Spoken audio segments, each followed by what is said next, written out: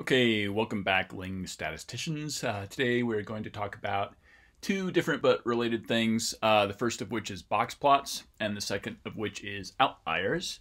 Um, and we'll keep the discussion going on these two topics as we move forward beyond this lecture as well, which is why I want you to know them. So, basically, let's start off. Where were we? Uh, after our last lecture, we had learned about the five number summary of a distribution, which includes um, these five numbers the minimum value in a distribution, the first quartile, the median, the third quartile, and the maximum value of that distribution. Uh, and basically, the reason box plots exist is to present that information in graphical form. Uh, so, without any further ado, let's just this is what a box plot represents. It's going to show you the median of a distribution with a thick, solid black line. Um, R is going to plot these all out in black and white. You can tweak the colors if you really want to, but I'm going to be boring and just show them to you in the most basic form. Uh, but the median will be plotted with a thick, solid black line. The first and third quartiles will form a box around the median. Uh, and then there's going to be whiskers on the box that extend out to the maximum and minimum values of the distribution. Okay, so those are the three things basically we're trying to get, or five numbers boiled down into sort of like three properties of the graph. Uh, so I'm going to show you what this looks like using R. So um, I've got, sorry about this, this is a tiny font that I'm using for this command here. Um, but I'll post these later in case you want to try this out yourself. I just wanted to fit it all onto one line. Um, so I'm going to show you how to make a box plot from that height data, uh, that men's and women's height data that we looked at a little while ago. Uh, so, right, um, there, that's how you load it in. I'm going to make, again, I'm going to make a separate video on these basic commands of how to read data into R, into what's called a data frame. Uh, this is kind of a nice way of doing it. Just pause for a second um, because I have this data on a web link here. Originally, again, I got it from the Introduction to the Practice of Statistics textbook. So again, thanks guys uh, for making that available. Um, but I posted it to a web link. Um, if you go to the course web page, if you go under data sets, this, these are the links I posted a couple years ago for the previous rendition of this class. But if you follow this men's and women's height link, it'll show you this information, right? We've seen it before, uh, and the nice part of R is that can, you can just grab it from the same web link um, wherever you happen to be, as long as you have that internet connection. Um, and so usually the first thing you want to do once you get some data into your R console is to take a look at like is there actually data there? And one good way to do that is using the summary command. We've seen this before because uh, we talked about how it kind of calculates the quartile um, information a little bit differently from sort of the five number summary command. Uh, but basically, this shows you um, the overall like facts, the five basic facts, along with the mean uh, for the different columns in this data set. The observation, which is really not that interesting. Um, and then the data for both men and women. Uh, so observation just goes from one to 100. So that might make it easy to kind of see, well, we've got the minimum at, minimum at one, the maximum at 100, so on and so forth. It's more informative to look at, say, men's heights and say, well, the minimum height is 63 inches, the maximum is 77 inches, so on and so forth. Um, okay, so the data is in there, um, but if we compare this these numbers to um, the five number summaries for both columns, men and women, uh, we find for men they match up. Sorry, I'm all choked up about heights. So uh, for men they match up uh, in terms of the quartile calculations, but for the women they do not. Um, and again, that's for technical reasons that I'm not going to bother to go into in great detail in this video series. But um, there's a difference here: is that uh, in the summary command it gives you a first quartile value of 62.75 and the five numbers summary command, it gives you a value of 62.5. Everything else is the same, as it should be, really. But um, what is going to happen when we actually look at the box plot command in R is that it's going to plot the numbers we get um, in the five number summary. So normally, like when I load data into R, I just do this summary command, just say, oh, is it there? What does it look like? Is it functioning properly, basically? I don't care that specifically about these individual values normally. Uh, but for instructional purposes, I want to kind of just focus on it for a second to make it clear that the box plot is going to operate on this set of numbers here, or this set of numbers for the men as well. What you get out of that five number summary. So let's take a look at the box plot of male heights first. I'll go to uh, the next slide. Um, so I've got the output here um, in my PowerPoint slide, but this is the command you use. We'll, we'll come back to the slide here in a second. Um, so this one's pretty straightforward. The name of the command is boxplot, uh, and you put the relevant parameters in parentheses inside of it. Um, I can do it the simplest way first. Maybe I should do that um, without any sort of uh, labeling. So if I just say, uh, give me the box plot for the men's heights height data, uh, the way you specify that, um, again, I'll be, get into this more when I um, talk about the R commands in a separate video, but I'm looking at the height data frame, and then it's specifying that it wants basically the men's column, uh, the column labeled men. Uh, and this little dollar sign indicates this is a variable, um, a column name that you can sort of pick out in this fashion. Uh, the men column from the height data frame.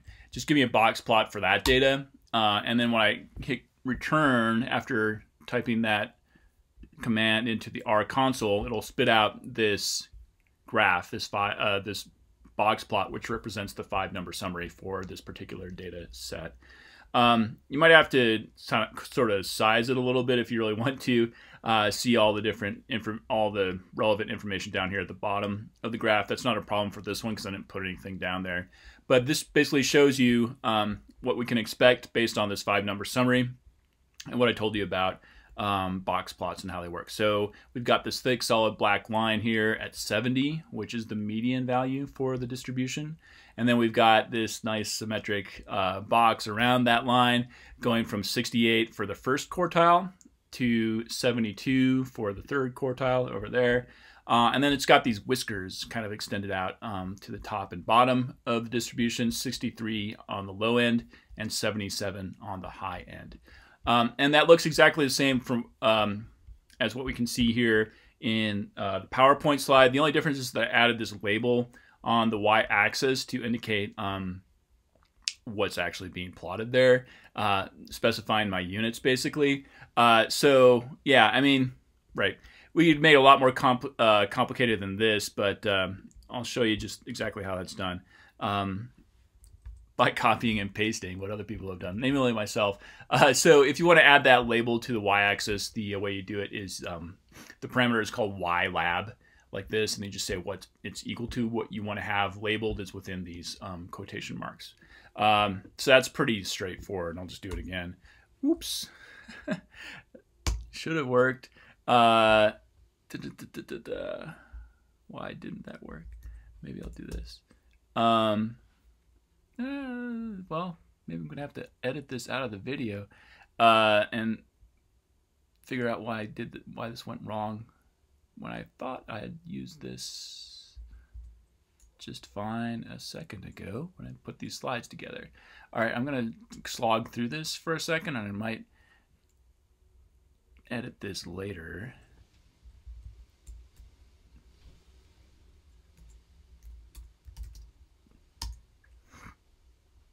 I don't know why that's happening. Um, but I've got this. It might be... That's working. Might be something I copied over from PowerPoint. Yeah, that's what's going on. Uh, so there was some sort of secret character that was messing me up there. Um, yeah, I'll just keep this simple here. Um, hopefully I can do this. Inches. Yeah, no problem. I don't know why that happened. Uh, sorry about that. Um, but worst comes to worst, you just build things up from scratch, I guess. Yeah, maybe it was the computer programming gods to tell me that don't tell people to just copy and paste other people's work. As I was making that joke, uh, even if that other person is yourself, uh, make sure you understand everything from the bottom up. I'm not going to say anything more about this slide, but I will point out that um, here's where that label appears over on this side. So again, uh, a general principle of any sort of graph is you always need to specify your units if you're going to tell people like numbers in some form on the graph. So don't forget to do that. That's the only reason I was sort of dwelling on that for the moment. Um, the next slide uh, I wanted to show you was the ladies graph uh, for the female heights, right? So um, actually, I'll just keep stick an R here um, and just change this. So can change female height and then specify the column as women. Uh, and then that'll pick out the right data set. And then uh, it's not switching over to the graph immediately as I do that, but uh, I can always just change my which window I'm looking at to see that this is the um, the women's height here. Um, yeah, so nothing super spectacular going on here, except that I do want to kind of go back to this five number summary and show you how things match up. So the median is 64. So we've got that here. Um, I'm going to gloss over the quartiles for a second and say the minimum is at 58. So we can see that right there. And the maximum is 71. We got that as well. Um, and then uh, the third quartile value is 66. Uh, that matches up here. That's the top of the box. And then the um, bottom or the first quartile is the 62.5 value in the five number summary. And then there's a little bit of a discrepancy because that's 62.75 in the summary um, command. And when you look at this, you're like, eh, is this 62 and a half or 62.75? I can't really tell.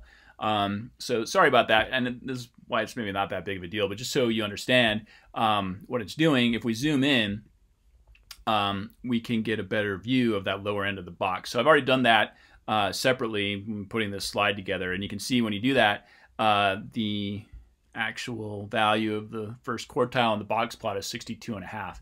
And I want to do that um, using this command here. Uh, so you can see how I did it in case you ever have a need to do so yourself.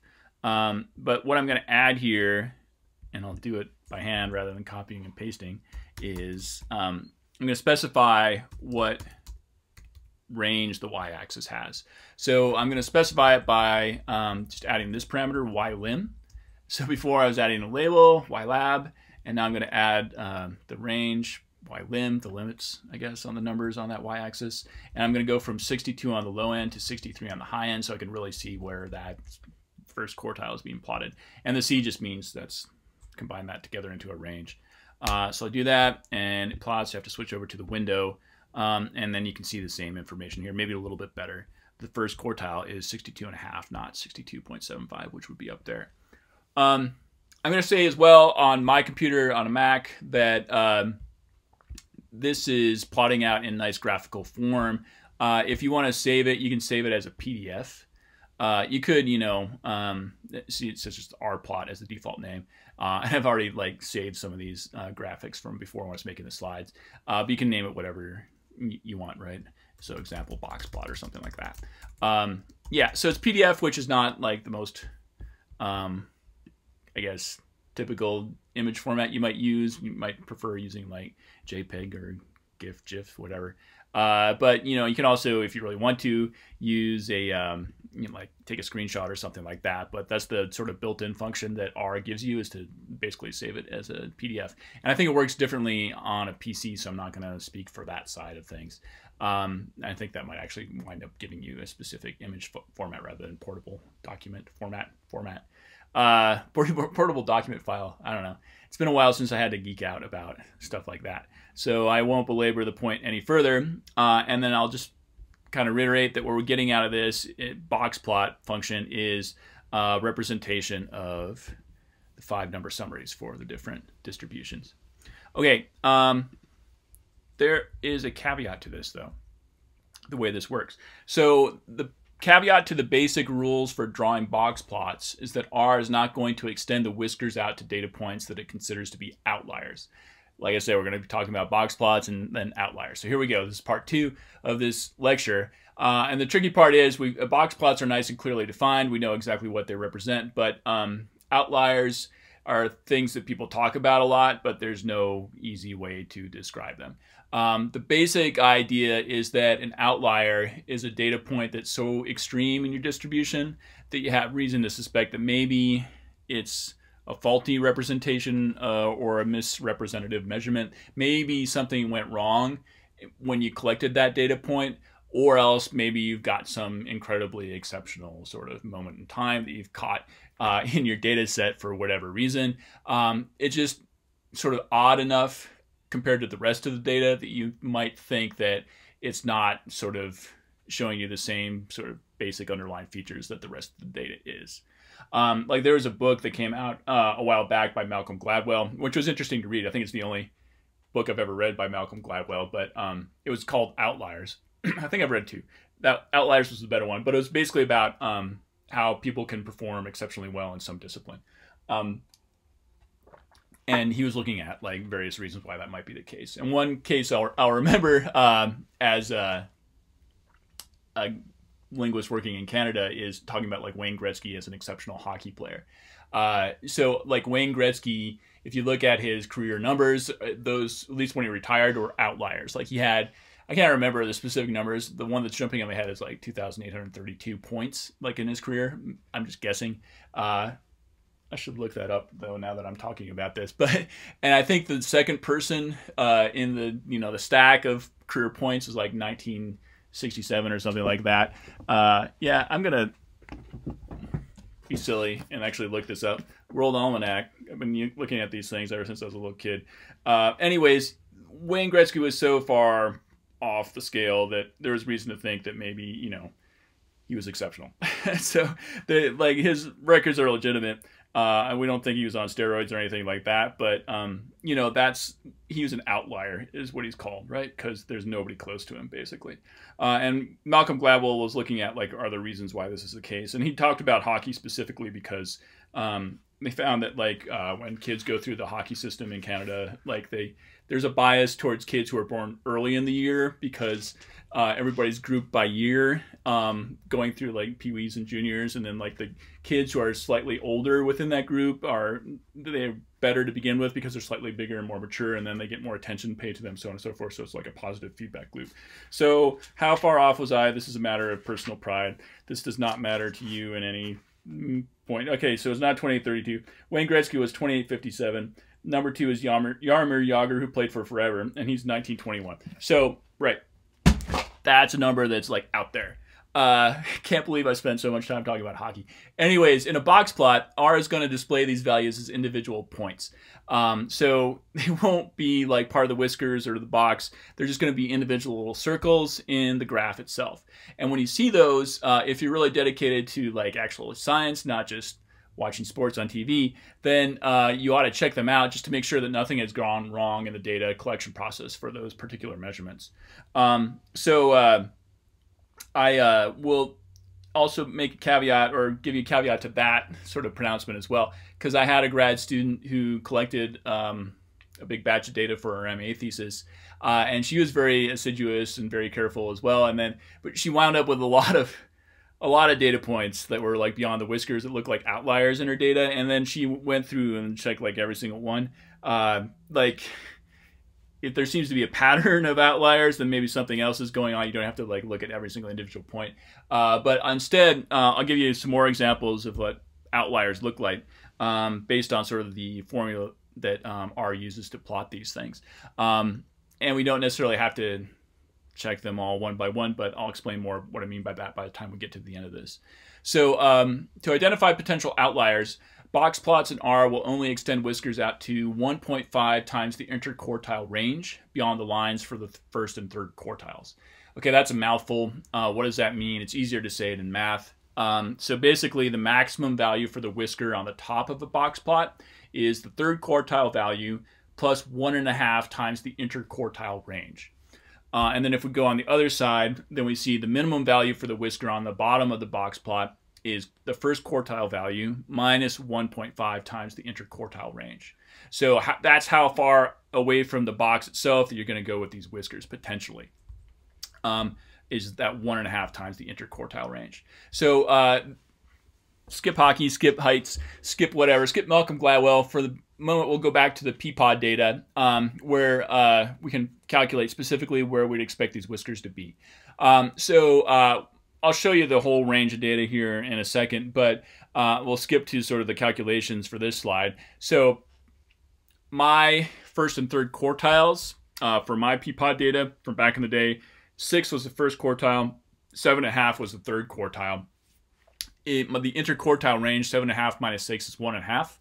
So the mac or sort of minimum value, the whisker on the bottom could extend out to is six minus one and a half times one and a half, and that's 3.75. Likewise, on the high end, um, it could extend out to seven and a half plus one and a half times one and a half, which turns out to be 9.75. Um, the math works out in a similar fashion for Svetlana's data, except that her first quartile is seven and a half, her high um, third quartile is eight. Um, and so that gives you an interquartile range of just one half, right? Um, so it's going to give you uh, a smaller range for these whiskers that goes from 6.75 on the low end to 8.75 on the high end. Um, yeah, so in my case, or the case of the Steve Peapod data, that range will encompass all of the observed data, going from 3.75 to 9.75. All my Peapods had a set of peas in it within that range. For Svetlana, though, um, she had um, a couple of pea pods with only four peas in them, and then one with uh, nine Peapods in it, or nine peas in it. It would, yeah, it was uh, recursive Peapod uh, with pea pods in it. Who knows? Um, Calgary's an amazing place, and my wife is a lucky woman. But the point is that uh, she had outliers um, in her data set or things that R is going to plot as outliers. So it's going to plot four as a little dot, um, and it's going to plot nine as a dot by itself as well, not within the range of those whiskers, which actually for Svetlana winds up being pretty narrow because her interquartile range is so narrow. Um, so here's what it looks like. Um, this is just showing you the ordered data for the Peapod sets. Um, and you can see that Svetlana's um, goes from four on the low end to nine on the high end. I've got the median here, and then the first and third quartiles where they fall in each data set. So we can see those match up pretty well to um, the box plots as they should, right? So it's easiest to see maybe for my data set where my first quartile is at six, down here on the low end, my median's at seven, right here. That's where the thick black line is. And then seven and a half is the third quartile up here. Uh, and so the, then the funny part is that um, in this case, my box plot only has one whisker, uh, and it's only the one on the top. so if we go back to the previous slide for a sec, it was saying um, my whiskers should extend out to 3.75 to 9 on the low end to 9.75 on the high end. Um, the trick is, though, uh, my minimum is the same as my first quartile. So my minimum value is 6, my first quartile value is 6 as well. So there's actually no need to extend a whisker out here down to like 3.75. Uh, so R just doesn't do anything there. It just doesn't plot a whisker at all to say, well, there's no data there. Um, everything, the minimum is the first quartile, is what that's telling you basically. Um, it does need to extend the high end a little bit up to 8 because that's my maximum. That is slightly higher than the third quartile. Uh, and then in um, Svetlana's case, you see something kind of similar uh, at the high end here. So the third quartile value for Svetlana is the same as her median. It's 8 in both cases. So the top of the box um, matches up with the thick black line, which is the median. Um, and then what you see on top of that is that she does get this whisker on the low end for her um, value of 7. So 7 divided by 8 is 7.5. That's her first quartile. So her whisker is going to stretch out to 7 here. But remember the limit here was 6.75 for Svetlana. So it'll extend out to that 7. It won't go to 6.75 because there's not actually any data point at 6.75. Just saying, well, there's one Peapod that has 7 peas. Um, and then it leaves these other two just as dots. Um, so I'm this um, these slides walk you through the um, facts I just told you um, over and over again, but Steve's lower whisker and Svetlana's upper whisker do not extend past the edges of their respective boxes. Uh, so just because it's a box plot doesn't mean it's going to have whiskers. And in fact, the funny thing is that this median doesn't even extend out to like a higher part of the box. Uh, the median is just the top of the box. Um, yeah, so uh, the point though I want to focus on for the moment is the outliers themselves. Um, so we've got this maximum value of 9 for Svetlana, so we've got one dot out there. Uh, and then we have two values of 4, but note that R uh, in its default form is only going to plot one outlier there. So it's got one circle uh, basically representing both of these points of 4. Uh, in either way, they don't fall into the whiskers or the box itself of the box plot. Uh, it's just showing you, well, there's, there's stuff out there. Um, don't ignore it, basically. Uh, but it's a little bit weird because it's so extreme. Um, Okay, so just to review in each box plot, the median is displayed with a thick, solid line. Uh, the first and third quartiles form a box around the median. And then we also get whiskers extending out to the maximum and min minimum values of the distribution with limits um, based on this math, which I'm not going to walk through again, but it's based on where the quartiles are and the interquartile range on top of that, or on below of that, on bottom of that, I guess. Uh, anyways, uh, the other point I want to get across or make sure it gets across is the box plot is only going to plot these features for data that is actually there. It doesn't plot any pure abstractions. So if we go back, uh, this might take a while, but uh, like the the whisker range for Svetlana was supposed to be 6.75 on the low end. It doesn't uh, stretch this whisker on the bottom end out to 6.75. It says, well, there's a data point at 7. We'll just stop there. Um, it's not plotting like abstractions based on the data. It's plotting there is a data point here. So there is some observation. That's what the purpose of this is. Um, okay, so hopefully that makes sense. And then if you wind up with a weird looking box plot for your own data, maybe that'll help make your weird box plot look a little bit more sensible because it's following this set of rules, basically. Um, okay, so a little more about outliers. I want to um, briefly take a closer look at something more uh, language related uh, rather than um, Canadian sports related uh, by going back to the how many languages do you speak data set, which I talked about a little while ago. Uh, so to get us back into the uh, swing of things, I've ordered the answers to that question.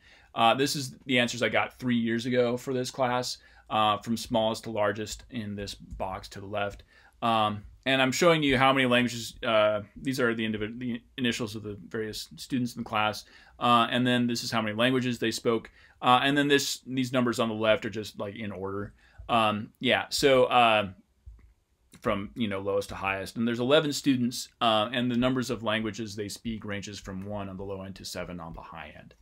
Uh, so the interesting question you could ask maybe is are any of these data points outliers, uh, at least by the definition used for our box plots? Um, and normally I do this in class just kind of as an exercise for everybody to work through together. Uh, and we just crunch through the math um, to see if we can get it to work ourselves. I'm going to do it for you on this video, but if you want to, you can pause the video here and work out the math yourself um, to see what you come up with, and maybe we'll wind up in the same place. Uh, and if you don't, you might want to watch the video again from here on out. Uh, so the first kind of question we need to answer in order to figure out the answer to this question in the third bullet point is what numbers will we need to calculate in order to answer this question?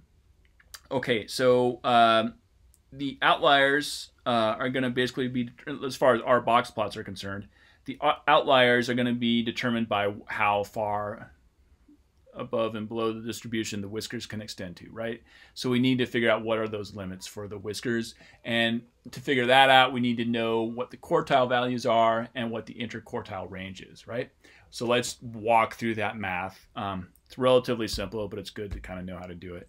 So let's start by calculating the first and third quartiles for this data set. Um, and the trick here is uh, one I mentioned before, which is that this data set has an odd number of values uh, in the sample. So it's got 11. Um, so instead of having 12, which we can kind of cleave right in the middle, uh, we need to decide whether or not to include the sort of median value 6 in our quartile calculation. So the median value is 2 specifically because um, this is the actual value in the middle of this distribution. Uh, but we don't know should this 6 be included on both halves when we're calculating the quartiles or should it not. Um, if you're clever and quick, maybe you've already noticed that it actually wouldn't really matter. Uh, if we included it in the end, we'd still get the same values for the first and third quartiles, which is kind of reassuring, but not necessarily always going to be the case. Uh, but at any rate, uh, let's include it just for kicks because it's going to be something different that we haven't quite done before, uh, so we can see how it works.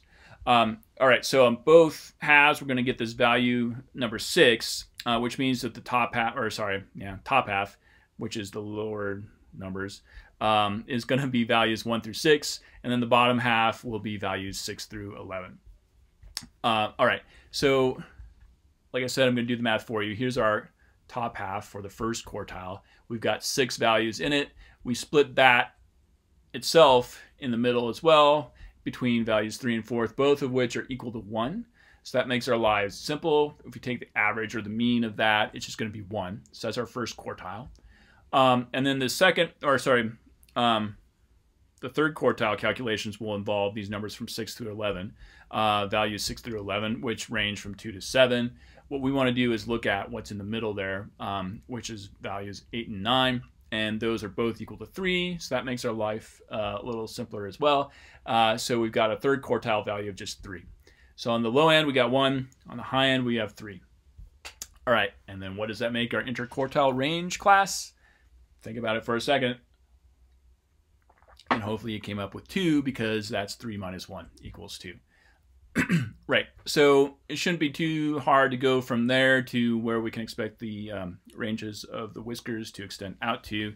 Um, I'll give you the math for the lower whisker, which winds up being kind of silly because uh, like our first quartile value is 1.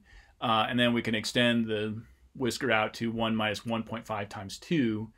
Uh, 1.5 times 2 itself is 3. If you have 1 minus 3, you get negative 2 which is a silly number to have in this context because nobody could possibly speak negative two languages. That makes no sense. And in fact, if you are a grad student in a stats course for linguists um, at you know a major research university, you're probably going to speak at least one language. Um, so it yeah. Uh, we don't really need to have any whiskers extending below, below that value of 1 in this box plot whatsoever.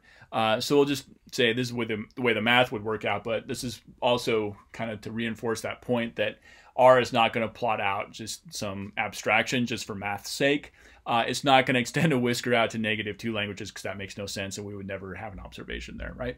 Uh, so we're just kind of done with that lower end of the, the scale. Uh, the upper whisker, though, um, is interesting, though, because the third quartile value is 3, and we add to that 1.5 times 2, the interquartile range. This 1.5 times 2 equals 3 itself. Add that to 3, and we get 6. Uh, so that's the limit for our upper whisker, but there's actually one student here, um, number 11, uh, in the distribution who reported speaking more than six languages. So um, student BN has 7. Right, so that's an outlier, right? At least if, according to this scheme for um, plotting box plots. Uh, and if you actually do uh, look at the box plot for this data, you get something that looks like this. It extends the whisker out to 6. We've got the first quartile at 1, the third quartile at 3. We've got the median at 2, all this stuff that we figured out. And this one lonely data point up here at 7, which is an outlier of some sort. Um, so when you get to this point, uh, you could stop and say, well, is that a legitimate data point? Like what is this seven telling us? Did something you know maybe get messed up in the process? Uh, this is reminding me i meant to i think mention this earlier. Uh, i told you about one ma student who like got lots of outliers in her data set and checked every single one of them. Um, uh, another example i can give you is uh, a phd student who just recently finished uh, who did his uh, thesis on vot in swahili uh, and he um, had a lot of amazing stories to tell about collecting data in Tanzania and um, Kenya for his thesis, and a variety of other places too as well, uh, which didn't get reported in the final product. But he, at some point, put um, what he wanted to do is to get recordings of Kenyan speakers producing various words in Swahili. Uh, sorry, yeah, various people in Kenya who speak Swahili recording themselves um, speaking Swahili words uh, so you have this thing set up where they would like look at pictures of animals or objects or whatever, and then they just say what that animal or object was. Um, and he had this one location he wanted to get this data from uh, in the interior of Kenya. Uh, I think he was in. I don't want to get my locations messed up, but he was in Nairobi, and he wanted to go to this town in the interior, uh, Iringa, I believe it was called, and he had no way of getting there. But he somehow knew a guy. He made a contact with a guy uh, who said he could do it for him. So my student just gave this guy um, his laptop and said, please run this experiment for me. Uh, and the guy was like, sure. And he took a bus ride out there. And, you know, if I would have done that, I might have thought I might never see that laptop again. But guess what? The guy ran the experiment, brought the laptop back. Um, and, you know, which was great for the whole thesis. Uh, but the problem was um, the data was not real. So one place where you might get outliers that um, kind of don't make sense is in uh, reaction time experiments. So uh, he also had another condition in his uh, study where he was, you know, playing like tokens with different VOT in them, and then people had to like picture or select between one or two pictures to say, well, that what that person said matches up with this picture rather than this one. Uh, and it turns out people were just like clicking through blah, blah, blah, blah, really super fast because he was getting reaction times of like 50 milliseconds or less than 100 milliseconds, which if you were trying to do this, it would take you longer to do it. you would know um, that you could not possibly get a reaction time that fast. Uh, so that's one case where the data would go wrong uh, when you see a reaction time that's just too fast for human beings to normally do. Um, but uh, so you can take that data and say, well, maybe we shouldn't include this in the final analysis because it doesn't make sense. Um, and I will say before I move on from this story that uh, kudos to the dude in Kenya who like ran my student's uh, dissertation experiment for him, just basically out of the goodness of his heart because you know that's an amazing thing to do for somebody you don't really know. Uh, the problem is that you do kind of need experience in running experiments to get like the data you want out of them. Um, so uh, the first time you do that, especially if you have no interest in linguistics, whatever, it might not go right. But that might happen to you even if you do have interest in linguistics and are just kind of working your way through grad school. Uh, it takes some practice to figure out how to get the data you want, and also, as we know from this class, how to you know figure out what it's telling you, um, what that those numbers mean. Uh, so sorry for the long digression, but um, I wanted to mention that because we're going to wind up in Kenya at the end of this, um, sort of in Kenya at the end of this lecture, anyways. So I wanted to say, let's go to Kenya more than once. Um, seems like an interesting place. Anyways, uh, the, going back to this data set, we have um, one student who said that they speak seven languages. Um, this is based on this question: How many languages do you speak?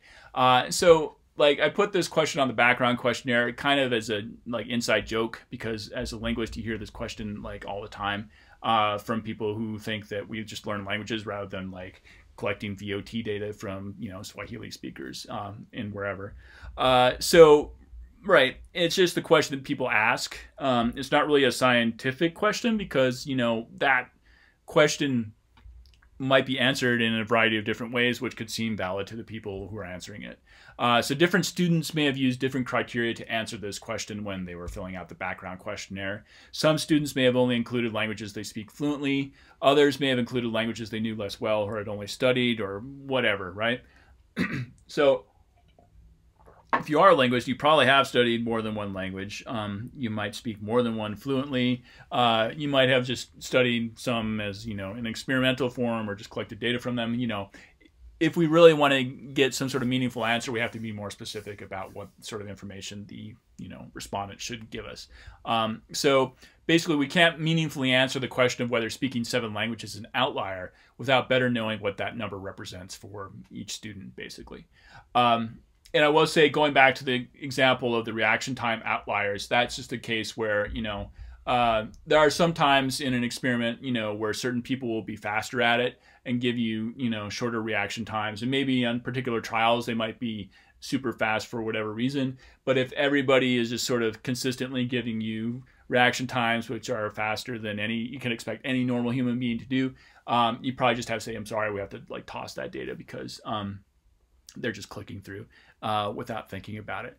Um, yeah, so this brings me up to um, the last kind of pair of points I want to make for this lecture, which is that numbers aren't everything.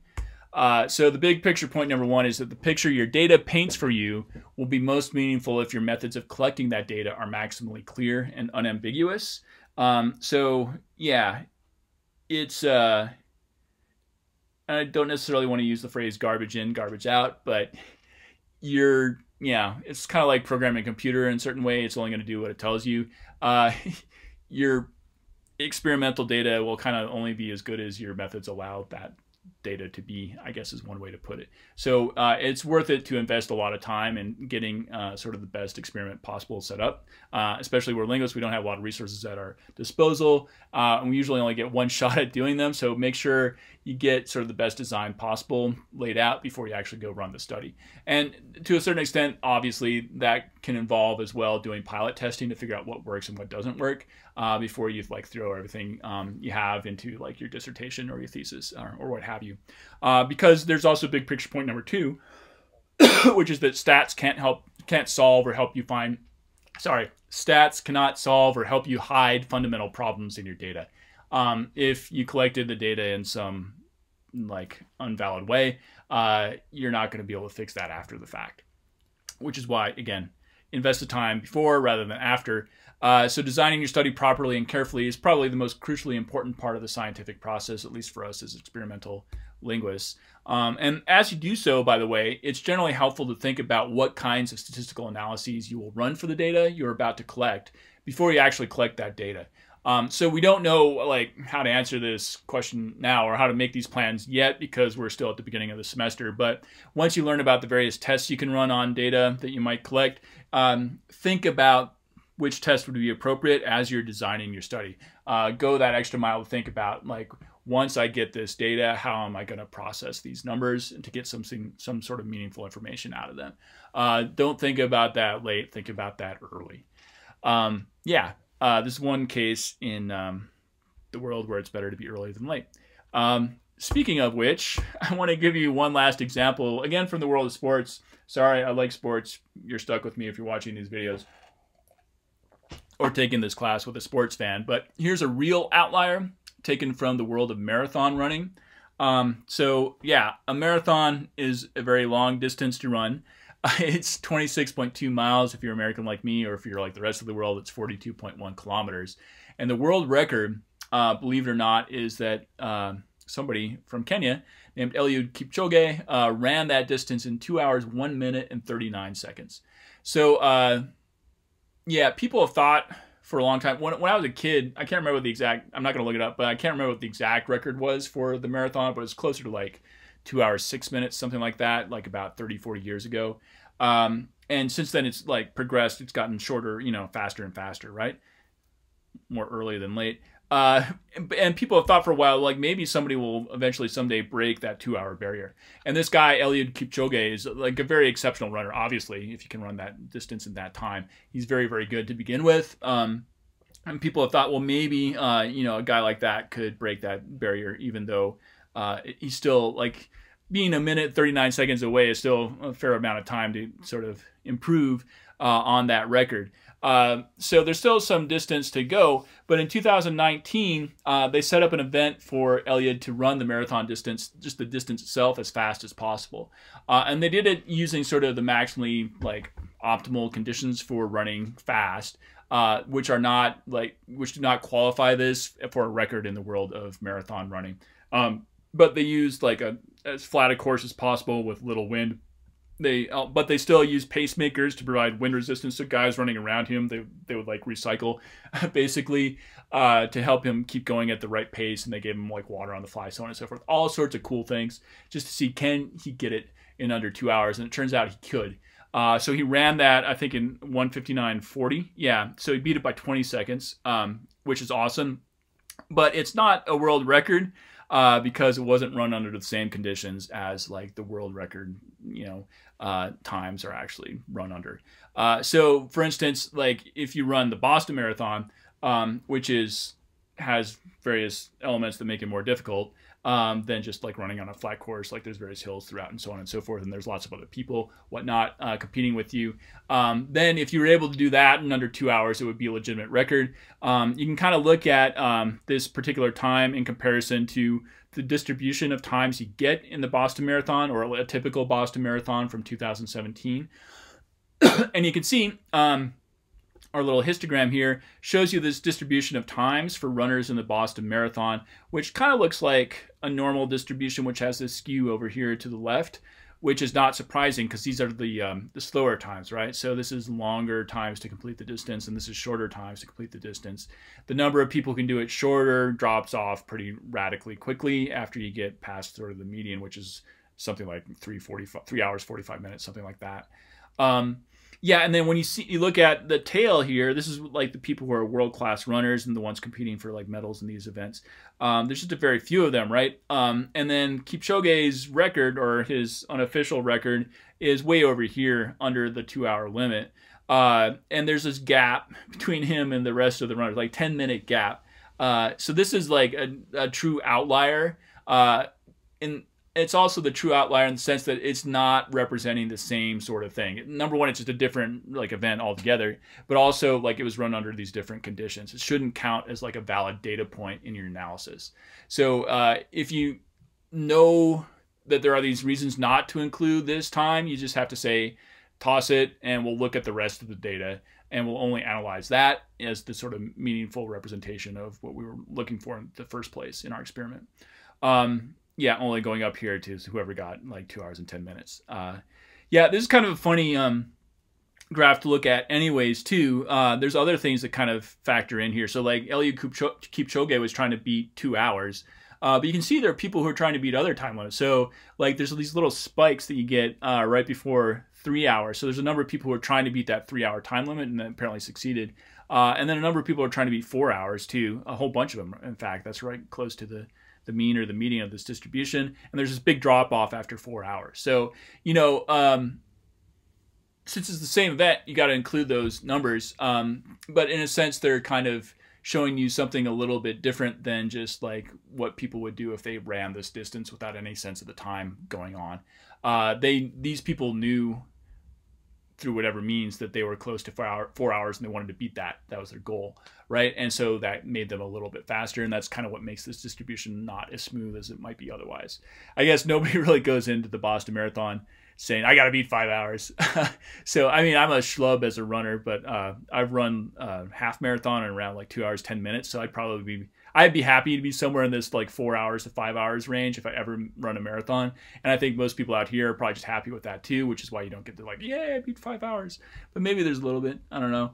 Uh, anyways, like other factors can affect these things cause, cause just because of human consciousness, right? Uh, and what we know about what we're doing. Um, so keep that in mind as you process the data for your experiment. Um, there can be outliers for a variety of reasons.